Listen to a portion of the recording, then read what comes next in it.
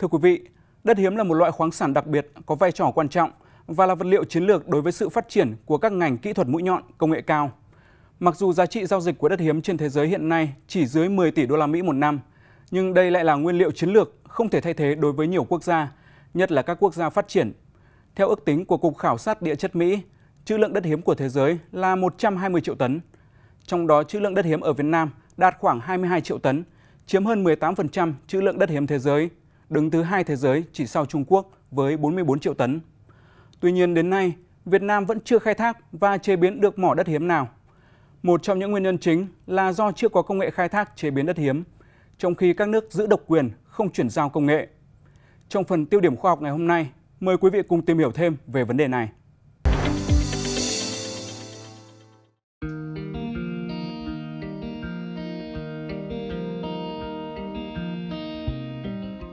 Đất hiếm là khoáng sản chiến lược có giá trị đặc biệt không thể thay thế và đóng vai trò cực kỳ quan trọng trong các lĩnh vực từ điện tử, kỹ thuật nguyên tử, chế tạo máy, công nghiệp hóa chất đến lĩnh vực luyện kim và cả chăn nuôi trồng trọt. Đất hiếm được dùng để sản xuất các chất xúc tác, nam châm, hợp kim, bột mài, gốm, chất phát quang để chế tạo các máy phát điện di động. Ổ đĩa cứng máy tính không thể không dùng đất hiếm. Nhiều nước có đất hiếm là vàng của thế kỷ 21 thậm chí là của cả thế kỷ 22, các nhà khoa học thì gọi đất hiếm là những nguyên tố của tương lai. Tại Việt Nam, đất hiếm phân bố chủ yếu ở vùng Tây Bắc. Khu vực này có những mỏ đất hiếm đã được thăm dò và xác định giá trị kinh tế cao. Khu vực Tây Bắc tồn tại rất phong phú các đá mắc ma kiềm và á kiềm giàu các nguyên tố đất hiếm. Đây là điều kiện thuận lợi để hình thành các mỏ đất hiếm. Ý thức được tầm quan trọng của đất hiếm, Đảng và Nhà nước đã chú ý, thăm dò, đánh giá trữ lượng và đầu tư cho nghiên cứu đất hiếm Tuy vậy, đến nay chúng ta vẫn chưa khai thác và chế biến hiệu quả được mỏ đất hiếm nào. Cái hướng nghiên cứu về đất hiếm mặc dù đã được triển khai gần 50 năm nhưng ờ, cũng có một số những vấn đề như cái sự đầu tư chưa được ờ, đồng bộ, tập trung. Do vậy, mặc dù có khá nhiều các cái kết quả nổi bật điển hình nhưng để có thể triển khai ứng dụng vào trong thực tế hiện nay và đặc biệt là nhằm đáp ứng chiến lược quốc gia nhất là về xuất khẩu đất hiếm. Thứ hai là chế biến sâu đất hiếm để làm ra các cái kim loại đất hiếm và ứng dụng để cho các cái ngành công nghiệp như là xe điện, về điện gió, chuyển đổi năng lượng thì cần phải có những cái nghiên cứu, có những đầu tư nghiên cứu tập trung mọi nguồn lực. Cùng với nguyên nhân về đầu tư nguồn lực, thị trường tiêu thụ, một trong những nguyên nhân chính là chúng ta chưa có công nghệ khai thác chế biến đất hiếm, một lĩnh vực các nước giữ độc quyền không chuyển giao công nghệ. Việt Nam đang rất thiếu về cái ờ, công nghệ chế biến, đặc biệt là công nghệ chế tách đất hiếm hoặc là sử dụng đất hiếm sau sau uh, chế tách. Và 10 năm qua thì chúng ta cũng có Việt Nam có một vài cái dự án đầu tư. Tuy nhiên là đến giờ phút này thì cũng chưa được thành công là do là như tôi nói ban đầu là do là cái cái cái ờ, công nghệ của chúng ta về chế biến sâu đất hiếm đang còn thiếu.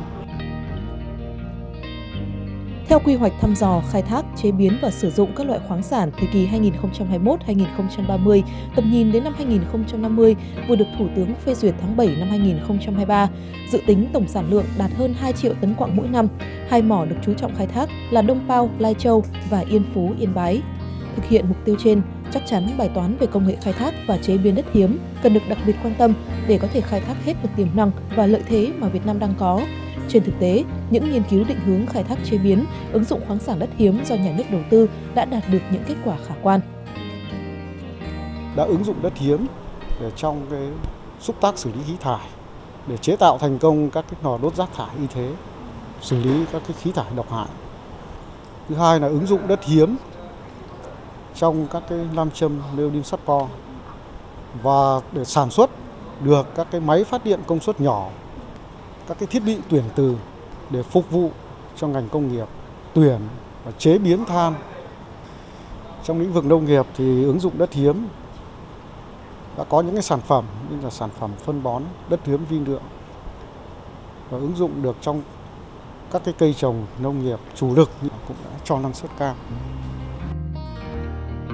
Ngoài ra để khai thác, chế biến có hiệu quả, hiện nay nhiều doanh nghiệp đã chủ động liên kết với các nhà khoa học để sản xuất đất hiếm như công ty cổ phần chế biến đất hiếm Lai Châu. Cụ thể, đơn vị này đã phối hợp với các nhà khoa học tại Viện Khoa học Vật liệu nghiên cứu quy trình sản xuất tổng oxit đất hiếm từ quặng nguyên khai đất hiếm. chúng tôi đã có cái à, bản quyền của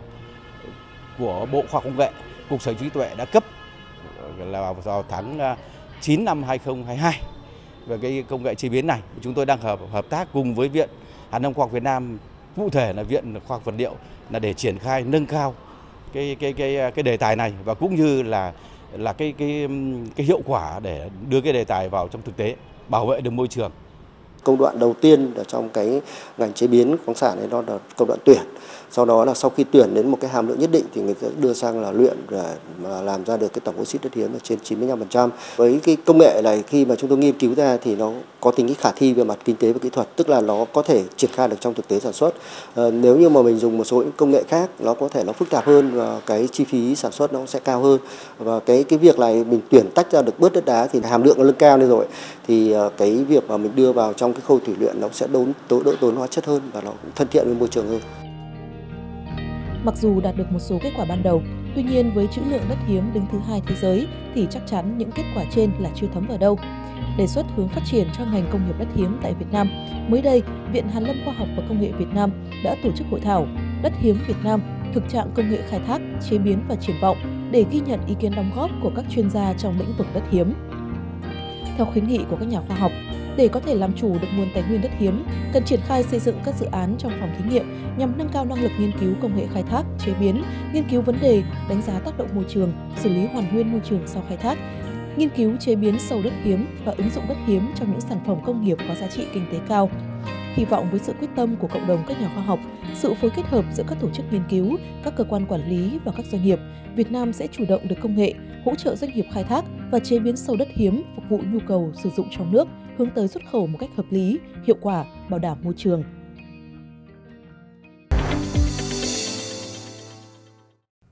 Thưa quý vị, những năm gần đây, thiết bị máy bay không người lái UAV xuất hiện ngày một nhiều trong hoạt động của ngành điện. Đối với đơn vị quản lý vận hành, bảo trì hệ thống đường dây cao áp, thiết bị này được xem như cánh tay, đôi mắt, trở thành người bạn đồng hành tin cậy, hỗ trợ đắc lực cho đội ngũ cán bộ, công nhân ngành truyền tải điện hoàn thành tốt nhiệm vụ. Hãy cùng đến với khu vực miền Trung với đặc thù địa hình có chiều ngang ngắn, địa hình đa phần là đồi núi.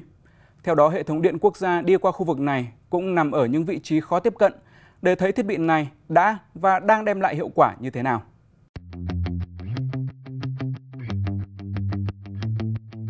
Đây là hình ảnh của công nhân đơn vị truyền tải điện 2 tiến hành kiểm tra hệ thống đường dây định kỳ hàng năm.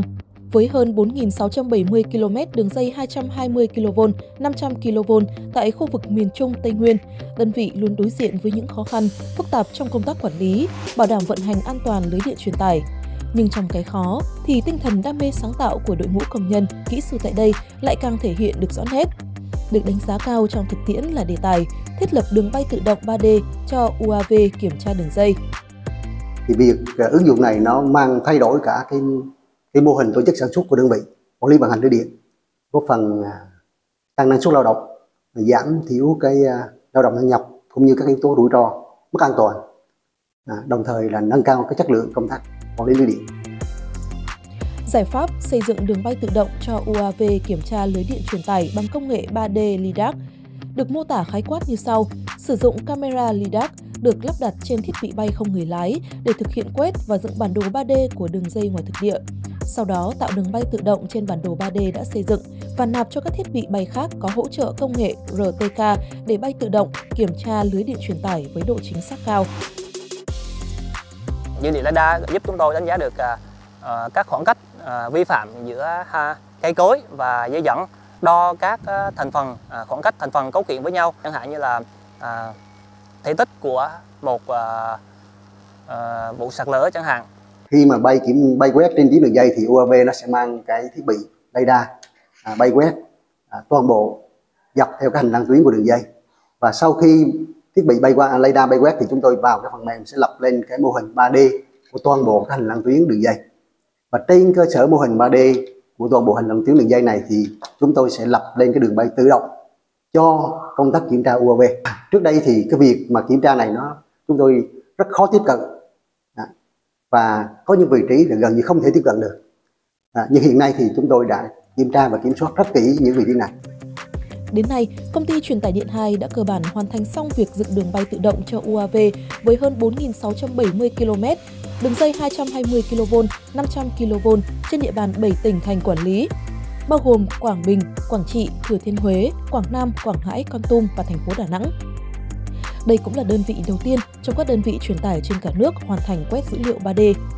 Tiếp nối những thành công từ tính năng ưu việt của UAV, tháng 9 năm 2023, đơn vị đã thử nghiệm sân bay tự động cho trạm biến áp. Đây là lần đầu tiên thiết bị này được sử dụng cho ngành điện nói riêng và Việt Nam nói chung.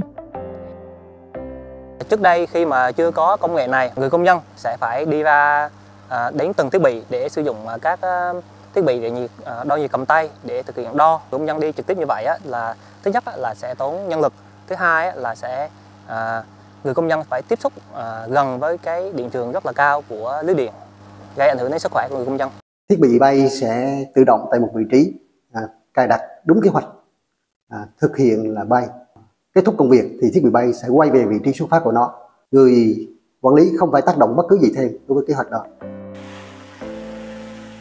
Đam mê nghiên cứu học hỏi và sáng tạo có trách nhiệm với công việc vì vậy, những cải tiến trên cơ sở ứng dụng tiến bộ kỹ thuật của đội ngũ công nhân, kỹ sư công ty truyền tải 2 đã góp phần nâng cao hiệu quả quản lý vận hành hệ thống truyền tải điện quốc gia, đảm bảo truyền tải điện an toàn, liên tục, ổn định cho phát triển kinh tế xã hội của đất nước, hoàn thành các chỉ tiêu, nhiệm vụ kế hoạch sản xuất kinh doanh, đầu tư xây dựng và nâng cao hiệu quả sản xuất kinh doanh và tăng năng suất lao động,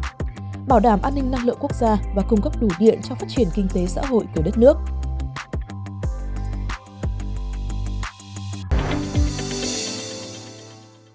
Thưa quý vị, sau gần một năm ra mắt, ChatGPT đã bắt đầu cho phép đăng ký miễn phí tài khoản bằng số điện thoại của Việt Nam.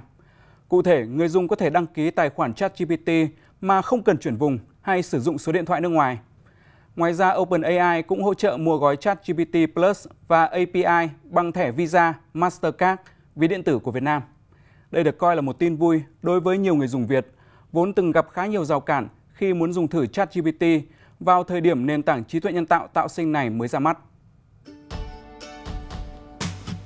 Là một chatbot do công ty OpenAI có trụ sở tại Mỹ phát triển, được ra mắt vào ngày 30 tháng 11 năm 2022. Chỉ sau 5 ngày, ChatGPT đã có hàng triệu người dùng đăng ký công cụ này. Được đánh giá là công cụ mạnh hơn bất cứ chatbot nào từng có trước đây, ChatGPT có thể trả lời câu hỏi như người thật, trình bày ý tứ một cách logic, có chiều sâu và cực kỳ trôi chảy cho các câu hỏi phức tạp. Mặc dù có hỗ trợ lựa chọn ngôn ngữ tiếng Việt và cho phép người dùng Việt truy cập vào website, tuy nhiên, việc đăng ký tài khoản ChatGPT vào thời điểm đó là không khả thi do OpenAI không hỗ trợ việc xác thực tài khoản bằng đầu số điện thoại cộng 84.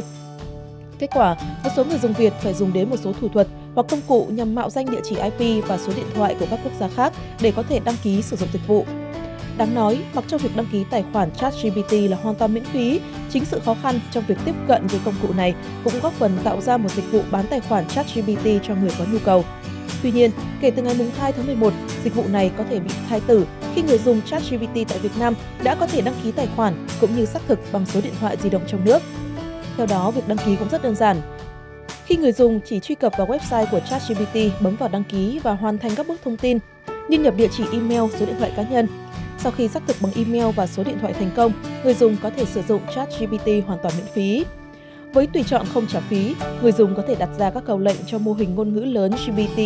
3.5 của OpenAI. Trong khi đó, để có thể sử dụng mô hình ngôn ngữ lớn ChatGPT 4 mới nhất của OpenAI cũng như được ưu tiên nhận thời gian phản hồi nhanh hơn, người dùng phải tiến hành nâng cấp tài khoản lên gói trả phí ChatGPT Plus. Thưa quý vị, có thể thấy ChatGPT thực sự là chatbot khá thông minh trong thời điểm hiện tại. Mặc dù đôi khi câu trả lời mà ChatGPT trả về chưa thực sự làm hài lòng nhiều người, nhưng có thể thấy tiềm năng mà ChatGPT mang lại trong tương lai là khá lớn. Đến đây thì thời lượng dành cho chương trình đã hết. Cảm ơn quý vị đã quan tâm theo dõi. Xin kính chào tạm biệt và hẹn gặp lại trong các chương trình sau.